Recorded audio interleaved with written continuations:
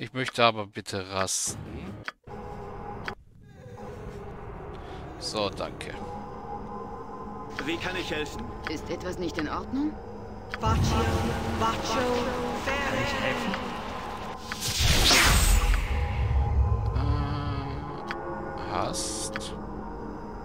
Kann ich helfen? Dein Befehl? Manus, potentes,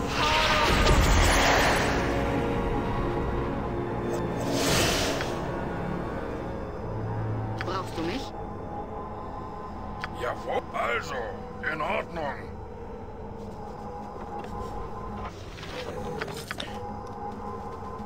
Ja. Ich mach's mal. Die Taten deuten mehr Sprechen als Worte. Okay, die sind alle auf jeden Fall angepisst. Was?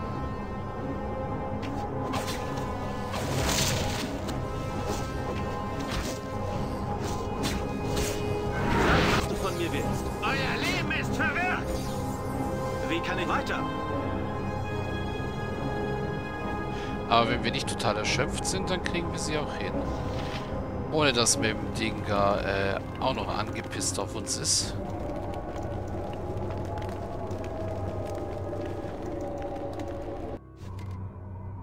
Okay, was haben wir da jetzt gefunden? Dies ist eine große Metallscheibe an einer Reihe von Kettengliedern. Auf ihr ist das Symbol vom Wilf den Stamm, dem Stamm des Bären, abgebildet. Sie scheint absichtlich mit einem scharfen Gegenstand verunstaltet worden zu sein. In Ordnung. Ihr seid zurückgekehrt. Habt ihr in den Gräbern irgendwelche Hinweise gefunden? Das Amulett haben wir im Wilftins Grab gefunden. Es scheint absichtlich verunstaltet worden zu sein. Das ist Wilfdens Stammeszeichen. Solche Ketten werden von den Königen meines Volkes getragen und gelten als die wertvollsten aller weltlichen. Ja, die Gruppe hat Wilftins Stammesinsignien verloren, hat viele Erfahrungspunkte gewonnen. Ihr habt Holder Wilftins Insignien als Beweis gegeben. Na und? Kein wahres Stammesmitglied würde es wagen, solch ein heiliges Objekt zu entweihen. Wenn Wilfden für diese Schändung verantwortlich ist, dann ist das nicht der Geist Jerots, der jetzt seinen Körper bewohnt. Wir haben Jolde das Amulett gegeben, das wir im Wilftins Grab gefunden haben. Die verunstalteten Insignien sowie die Entweihung des Grabes waren Beweis genug, den Schaman davon zu überzeugen, dass der Geist, der Wilftins Körper innewohnt, nicht der Barbarenheld Jerod sein kann. Wenn ich Jerod wäre, Das dann... weiß ich nicht. Selbst in meinen Visionen ist das Antlitz des Königs verborgen. Fast so, als würde meiner Vision entgegengewirkt. Es gibt jemanden, der uns vielleicht bei unserer Aufgabe helfen könnte. Wenn die Legende wahr ist, könnte sie in der Lage sein, diese Seele so zu sehen, wie sie wirklich ist. Wer ist diese Person, von der ihr Sie spricht? ist als die Seherin von Finsterfrost bekannt. Einst war sie eine mächtige Beschwörerin von Geistern, die mit dem Stamm des Elches lebte. Ja, die kennen wir aus dem Heart of Winter Intro. Das ist nämlich die Sprecherin dort. Der Legende nach war ihre Sehergabe so mächtig, dass ihre Augen zu Staub zerfielen. Es heißt, sie sei nach Norden geflohen, um in der Dunkelheit des Finsterfrostes zu leben. Was ist der Der Finsterfrost? Finsterfrost liegt ganz im Nordosten, jenseits des Reckhead-Gletschers.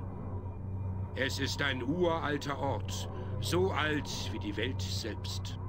Okay. Die Geschichten meines Volkes besagen, dass der Finsterfrost den Ort bezeichnet, an dem die Sonne aus Torrels Bauch gestoßen wurde, als sie noch eine junge Mutter war. Das möchte ich mir jetzt nicht Es vorstellen. wird erzählt, dass die Hitze der neugeborenen Sonne den Gletscher verbrannte, als sie in den Himmel floh. Das Eis wurde schwarz wie die Nacht und das Land herum versank in Dunkelheit. Klingt nach einem einladenden Ort. Wie finden wir dorthin? Ich werde euch den Weg auf eurer Karte einzeichnen. Beeilt euch auf eurer Reise, aber Vorsicht! Die Wächter des Finsterfrostes schützen die Seherin vor Belästigungen durch Sterbliche. Nur denjenigen, die sich als würdig erweisen, wird ihre Weisheit zuteil. Also gut, wir machen uns unverzüglich auf den Weg zum Ich Finsterfrost. werde die Verbannung brechen und heimlich zum Lager zurückkehren. Wenn ihr erfolgreich seid, geht ihr direkt zur Methalle und verlangt eine Audienz bei Wilfden.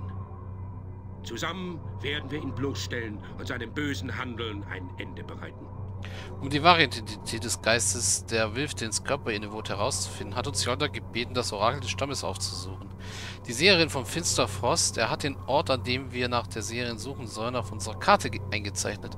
Sobald wir sie gefunden haben und die Wahrheit über Wilfdin erfahren haben, sollen wir zum Barbarenlager zurückkehren und vor dem Rat angehört werden. Dann leb wohl. Windgang Yolda und wir sind alleine hier.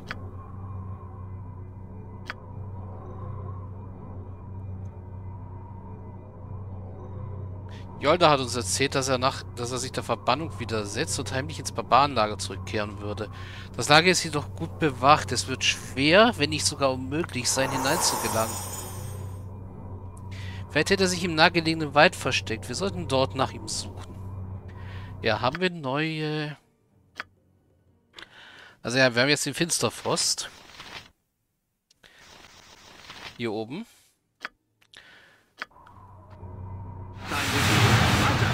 Wir sind erschöpft. Sofort. Wir haben Untote vor uns. Kommt her, wenn ihr euch traut.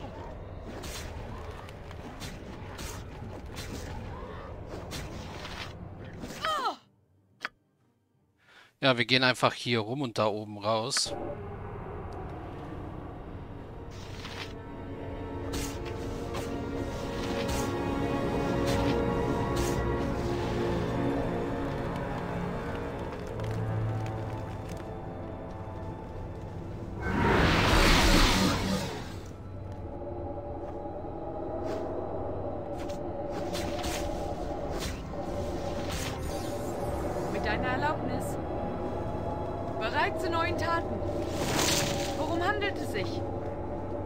Gern geschehen. Und Ich auf. möchte mich ja nicht einmischen, Ja, aber vielleicht gewiss. sollten wir eine Rast einlegen.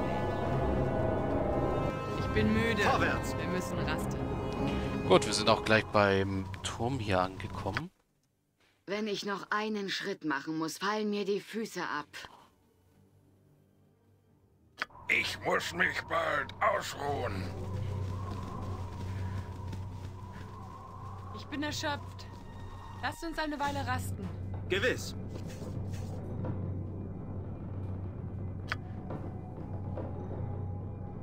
Ja, also wir wollen verkaufen.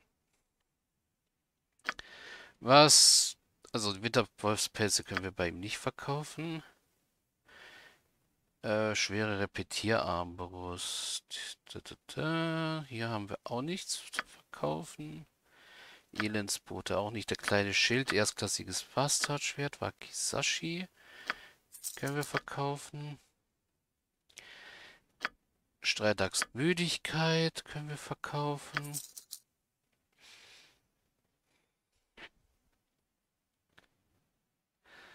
So, jetzt haben wir Geld. Das Ding ist eigentlich fünfter Grad. Mal kurz gucken. Fünfter Grad. Na, ist nichts, was wir bräuchten, um es zu verdoppeln. Sag, was du von... Sofort. Die, der sofort.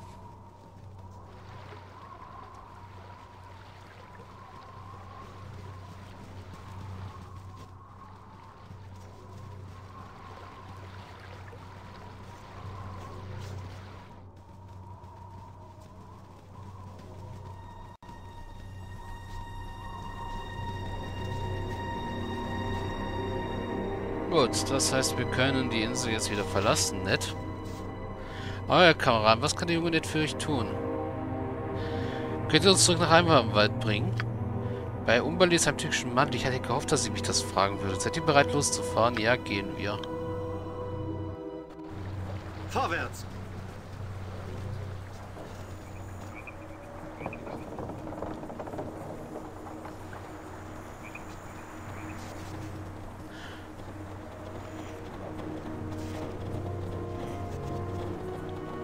So, jetzt nach den ganzen Nächten in dieser Untotenhöhle wird es Zeit mal wieder für eine richtige Rast.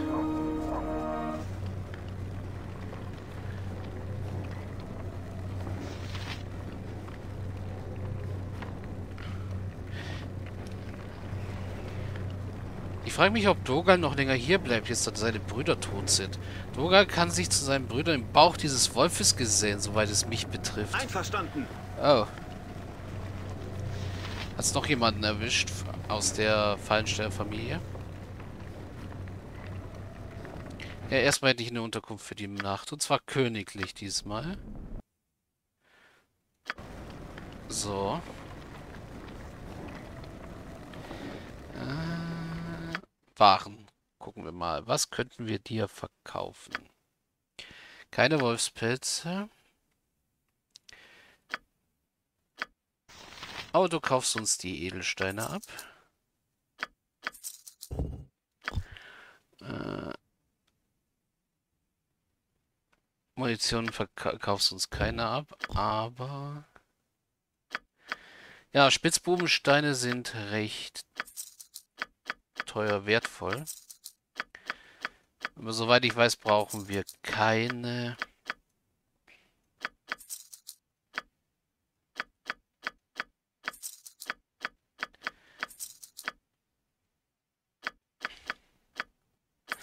So. Ah, für irgendwelche Sidequests. Wie kann ich helfen? Gewiss.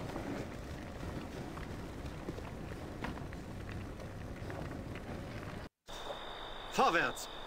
Oh. Ein höherer Werwolf. Spür meine steinerne Klinge.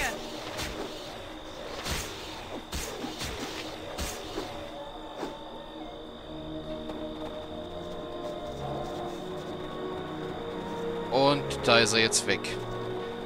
Er hat sich in einen Wolf verwandelt und ist abgehauen.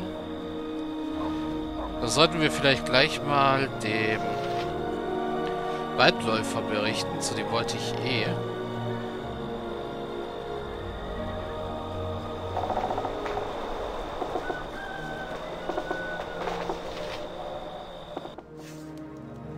Und er ist gar nicht da.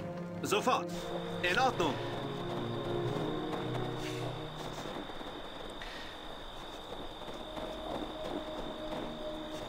Das heißt, wir sollten vielleicht die Nacht abwarten.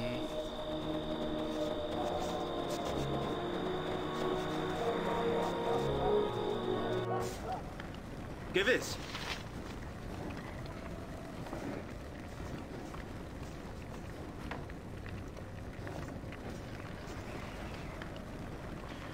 Ja. Jetzt sollte es drei- mittags sein schon, okay.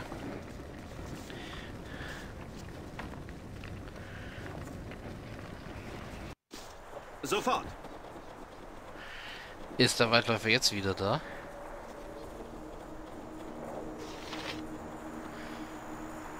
Es ist komisch, dass Emmerich in der Nacht verschwindet und auf einmal ein Werwolf auftaucht, der scheinbar für den Tod der beiden äh, Fallensteller verantwortlich ist. Einverstanden! Schön euch wiederzusehen. Gibt's was Neues von unserem Killerwolf? Wir haben ein Wesen abgewehrt, das nachts durch die Straßen pirschte. Wir glauben, dass es ein Werwolf war und dass dieser hinter den Morden in der Stadt steckt. Ein Werwolf, wie ist das möglich? Ich bin sicher, dass der Wolf, der mich angegriffen hat, hinter den Morden steckt. Nicht irgendein verfluchter Mensch, der zur Bestie geworden ist. Wie wollt ihr wissen, dass das Wesen, das euch angegriffen hat, kein Werwolf war? Hm, vielleicht habt ihr recht. Es heißt, dass diese Wesen die Fähigkeit besitzen, sowohl die Gestalt eines Menschen als auch die eines Tieres anzunehmen. Ich wurde aber bei dem Angriff verletzt. Wenn es tatsächlich ein Werwolf war, hätte sich sein Fluch dann nicht auf mich übertragen. Vielleicht hat er das ja. Was wisst ihr noch von den letzten Nächten? Bei den Göttern, deshalb diese Albträume. Seit dem Angriff werde ich jede Nacht vor demselben furchtbaren Albträumen geplagt. Ich dachte, das wären nur Träume, die mir der Waldvater schickt, um mich an meine Verstöße zu erinnern. Wenn ich morgens schweißgebadet erwache, schwimmen immer noch die grausigen Bilder im Kopf herum. Oh, barmherzige Mächte, es ist wahr. Was habe ich getan? Was ist aus mir geworden? Beruhigt euch. Es muss doch, irgend es muss doch irgendwie zu helfen sein. Ein mordendes Monster, das ist, ist aus euch geworden. Jetzt, ist, jetzt müsst ihr für eure Gräueltaten bezahlen. Keine Bange, euer Leiden wird bald vorüber sein. Haltet mal kurz still. Es tut auch ganz, auch nur ganz kurz weh. Agrim? Nein, böse. Sein Pech, was? Naja, solange ihr euch von uns fernhaltet, ist es mir ziemlich egal, was ihr macht, was ihr nachts so treibt. Lebt wohl.